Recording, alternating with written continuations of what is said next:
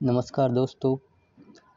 Last के lecture में हमने देखा था कि हेल्थ डिपार्टमेंट के पॉइंट ऑफ़ व्यू से इम्यूनोलॉजी के बेस पे क्या क्या कॉन्सेप्ट्स पूछे जा सकते हैं और वो कॉन्सेप्ट्स के क्या क्या एम आ सकते हैं, वो हमने लास्ट लेक्चर में देखा था।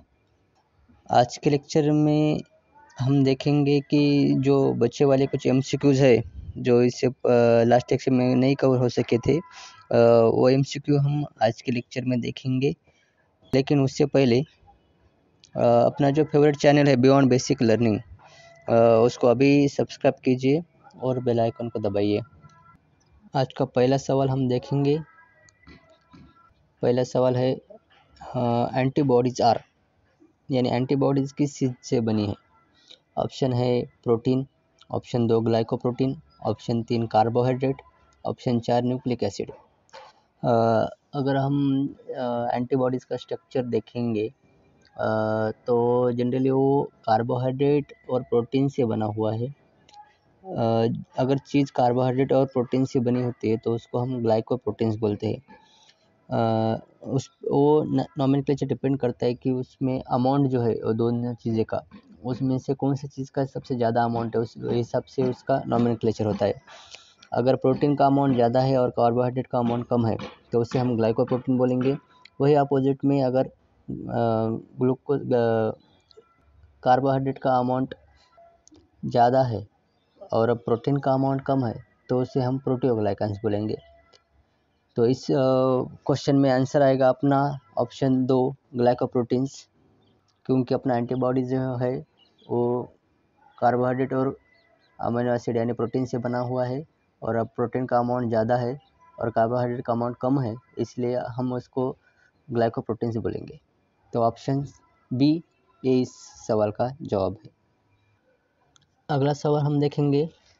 अगला सवाल है the order of percent of total immunoglobulin in the serum is सवाल में पूछा गया है कि सीरम में अगर हम देखेंगे तो एंटीबॉडीज़ का कॉन्सेंट्रेशन यानी परसेंटेज जो है, वो कैसा रहता है यानी हाई अमाउंट से लो अमाउंट तक इन शॉर्ट में ऐसा पूछा गया ऑप्शन है option A I G M I G A I G G I G D and I G E option दो है I G G I G A I G M I G E I G D option तीन है I G G I G A I G M I G E I G D और last का option है I G G I G A I G M I G D और आई G ई अगर हम देखेंगे कभी भी कि सबसे, अगर अमाउंट हम देखेंगे किस चीज़ का सीरम में ज़्यादा होता है और सबसे कम कौन सा एंटीबॉडीज़ का अमाउंट ज़्यादा होता है,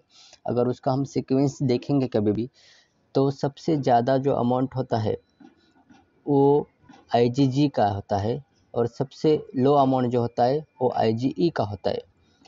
अगर उस हिसाब से देखेंगे हम तो सबसे कम, यानी I G G I G ई का जो अमाउंट सबसे कम होता है उस हिसाब से अगर हम देखेंगे तो ऑप्शन ए और ऑप्शन डी इसमें ही सबसे कम वाला आई जी ई का अमाउंट सबसे आखिरी में दिया वाला है। तो बाकी ऑप्शन बी और ऑप्शन सी कट जाएँगे बचेंगे ऑप्शन ए और ऑप्शन डी लेकिन अगर हम देखेंगे कि स्टार्टिंग में ही अमाउंट आई जी एम यहाँ पे ऑप्शन ए में बताया गया कि आई जी एम सबसे ज़्यादा है। लेकिन हमें पता है जैसे कि आईजीजी सबसे ज़्यादा होता है सिरम में। तो इस हिसाब से अपना ऑप्शन आएगा ऑप्शन डी सबसे ज़्यादा अमाउंट ऑप्शन डी में जो बताया गया है, उस हिसाब से सबसे ज़्यादा अमाउंट आईजीजी उसके बाद आई G A I G M I G D और आई जी ई ये सीक्वेंस में आ जाएगा। तो इस सवाल का जवाब आएगा ऑप्शन डी अगर हम अगला सवाल देखेंगे अगला सवाल है J chain is present in अगर हम एंटीबॉडीज़ का स्ट्रक्चर देखेंगे तो हमें जैसे पता है कि आई G G I G D और आई जी ई ये जो एंटीबॉडीज़ है, ये मोनोमर में है। आई जी ए जो है, वो डाइमर में है और आई जी एम जो है, वो पेंटामर में है। और अगर हम जे चेन का स्ट्रक्चर देखेंगे सब एंटीबॉडीज़ में तो सिर्फ़ जहाँ पे डाइमर या पेंटामर होगा उस चीज़ में ही हमें जे चेन लगेगा। जे चेन यानी जो जॉइन करने के लिए लगता है अमीनो एसिड्स का चेन तो उसको हम जे जे चेन बोलते हैं, जो दो मोनोमोर को ज्वाइन करता है। तो जनरली दो मोनोमोर को ज्वाइन करता है, इसका मतलब वो आ जाएगा एक तो डायमर में भी और वो पेंटामर में भी रहेगा। इसलिए अगर हम ऑप्शन देखेंगे इसका तो ऑप्शन पहला है आई ऑप्शन दो है आईजीएम तीसरा ऑप्शन है बोथ ए एंड बी और लास्ट का ऑप्शन है आई तो हमें जैसे पता है और हम अभी इमेज में भी देख पा रहे हैं कि जे चेन जो है वो डाइमर और पेंटापर में अवेलेबल है। और हमें जैसे पता है कि आई और आई जी एम आई ए डाइमर है और आई जी ए पेंटामर है। तो इसलिए अपना जो इस सवाल आएगा option C both A and B A and B यानी I G A and I G M ये दोनों में भी जे चेन प्रेजेंट होता है। अगला सवाल है which of the following immunoglobulin make the largest percentage in the breast milk option है I G M I G D I G जी और आई जी ए जैसे हमें पता है uh, और हमने लास्ट लेक्चर में भी डिस्कस किया था कि जो एंटीबॉडीज आई जी ए है वो डायमर है और उसके ऊपर सिक्रेटरी प्रोटीन रहता है। इसलिए वो सब सिक्रेशन जो रहते हैं बॉडी के टी एस रहता है रहता है ब्रेस्ट मिल्क यानी कोलेस्ट ब्रेस्ट मिल्क या कोलेस्ट्रम जो है, उसमें जनरली आई जी ए पाया जाता है। और क्योंकि ये सीक्रेट हो जाता है, इसलिए जनरली वो सिक्रेशंस में पाया जाता है ब्रेस्ट मिल्क यानी ब्रेस्ट मिल्क या फिर टी एस में। तो इसका सही जवाब आएगा ऑप्शन डी आई इसको आई को हम अल्टरनेटिव नाम भी बोलते हैं कि सिक्रेटरी एंटीबॉडीज बोल के इसको अल्टरनेटिव नाम भी है। इसलिए इस सवाल का जवाब जो आएगा, वो आई आएगा। ऑप्शन डी नेक्स्ट सवाल है ओरल पोलियो ड्रॉप्स कंटेन जो हम जनरली पोलियो का डोज जो लेते हैं तो उसमें क्या रहता है? ऐसा सवाल में पूछा गया है। Option A harvested antibodies option दो activated pathogens option C attenuated pathogens और ऑप्शन चार गैमा ग्लोबुलिन अगर हम एक एक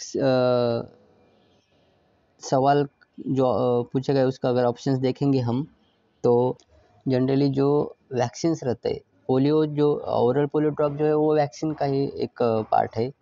उसमें जनरली क्या होता है कि जो पोलियो को पोलियो के वायरस जो रहते हैं, उसको हम जो एटेनुएटेड जनरली करते हैं। एटेनुएटेड यानी उसका एंटीजेनिसिटी रहता है, लेकिन पैथोजेनिसिटी नहीं रहता। ऐसा है। यानी अगर वो पोलियो का ड्रॉप बच्चे के शरीर में जाएगा तो बॉडी को पता चलेगा कि कौन सा तो फॉरेन पार्टिकल्स आया है, और उसके अगेंस्ट बॉडी एंटीबॉडीज बनाना चालू कर देगी। लेकिन उसका पैथोजेनिसिटी निकाल दिया जाता है, जिसके वजह से जो हार्मफुल जो प्रॉब्लम हो सकती है बच्चों को, वो नहीं होती उस वैक्सीन के वजह से, क्योंकि उसका जो वायरस उसके अंदर पोलियो के वैक्सीन के अंदर रहता है, उसको जनरेटेड किया होता है। एटेनुएटेड का अलग अलग प्रोसेस है, वो हम बाद अगले लेक्चर में देखेंगे। इसलिए इसका जवाब जो आएगा ऑप्शन सी एटेनुएटेड पैथोजेंस रहता है। लेकिन अगर हम बच्चे वाले जो ऑप्शन है, उसके बारे में अगर देखेंगे तो पहला ऑप्शन उन्होंने बताया कि हार्वेस्टेड एंटीबॉडीज़ हार्वेस्टेड एंटीबॉडीज़ यानी जनरली मोनोक्लोनल एंटीबॉडीज़ रहते हैं। लेकिन जनरली कैसा है कि अगर कुछ इन्फेक्शन हुआ है जनरली अगर स्नेक बाइट हुआ है तो उसको रिकवर करने के लिए उसका एंटीडोट जो पैथ, उसका जो पॉइज़न रहता है, वो पॉइज़न के के अगेंस्ट में जो एंटीबॉडीज़ वर्क करेंगे, वो जो रहेगी वो हार्वेस्टेड एंटीबॉडीज़ रहेगी। जनरली जो हार्वेस्टेड एंटीबॉडीज रहते हैं, वो मोनोक्लोनल एंटीबॉडीज रहते हैं। दूसरा है ऑप्शन एक्टिवेटेड पैथोजेंस। हम कभी भी वैक्सीन में एक्टिवेटेड पैथोजेंस नहीं लिखेंगे।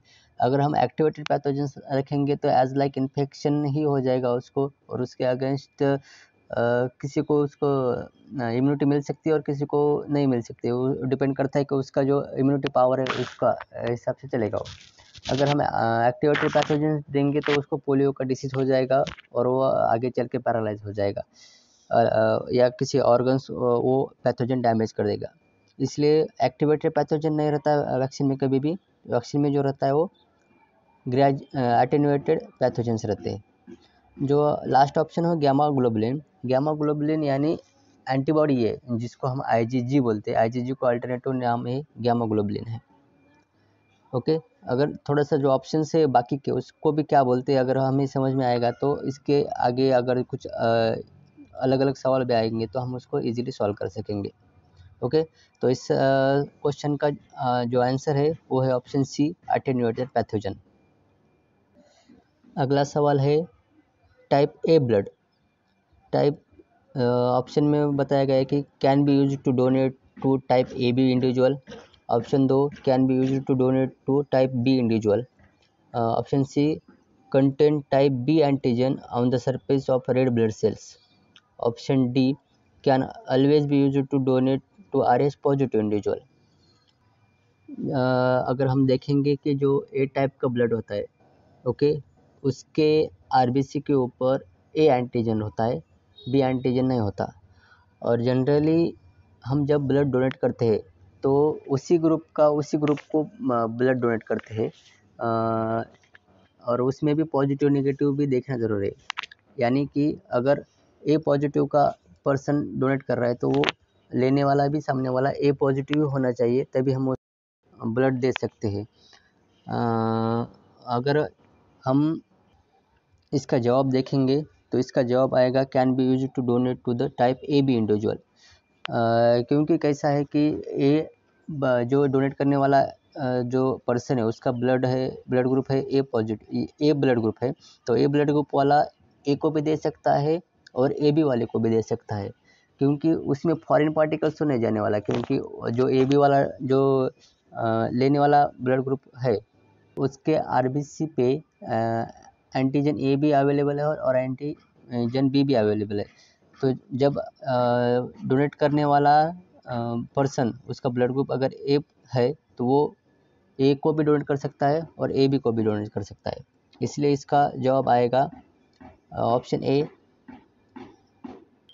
अब बच्चे वाले ऑप्शंस के बारे में अगर हम देखेंगे तो जो दूसरा ऑप्शन है can be use to donate to type B individual A जिसका ब्लड ग्रुप ए है, वो कभी भी बी ब्लड ग्रुप को डोनेट नहीं कर सकता, क्योंकि उसके आरबीसी पे जो एंटीजेंस रहते हैं बी वाले के बी एंटीजन रहता है और ए वाले के ए एंटीजन रहता है, इसलिए वो अपोजिट हो जाएगा, इसलिए हम कभी भी जिसका ब्लड ग्रुप ए है वो ब्लड ग्रुप का ब्लड हम बी को नहीं दे सकते। लास्ट का ऑप्शन देखेंगे कि can always be use to donate to an R H positive individual इसमें ये बताया गया कि हम कभी भी आर एच पॉजिटिव इंडिविजुअल को ये दे सकते हैं, लेकिन यहाँ पे क्लियरली उन्होंने नहीं मेंशन किया है कि किस ब्लड ग्रुप को, यानी ए आर एच पॉजिटिव को देना है या बी आर एच पॉजिटिव को या ओ आर एच पॉजिटिव को देना है, ऐसा कुछ भी इस पर मेंशन नहीं किया इसलिए ए भी उसका सवाल नहीं आएगा। ये सवाल का जवाब ए भी नहीं आएगा। इसलिए एक्चुअली इसका जो जवाब आएगा, वो ऑप्शन ए आएगा। Can be use to donate type A B individual आशा करता हूँ को जो आज आपको सवाल के जवाब बताए हैं वो आपको समझ में आए होंगे। जो बेसिक कंसेप्ट भी बताइए वो भी आपको समझ में आए होंगे। और हम अगले लेक्चर में देखेंगे कि और दूसरे जो बेसिक सवाल्स है या कंसेप्ट है, वो क्या आ सकते हैं और उसके ऊपर क्या क्या क्वेश्चंस पूछे जा सकते हैं, वो भी हम अगले लेक्चर में देखेंगे। लेकिन उससे पहले अपना जो फेवरेट चैनल है बियॉन्ड बेसिक लर्निंग उसको अभी सब्सक्राइब कीजिए और बेल आइकन को दबाइए। Thank you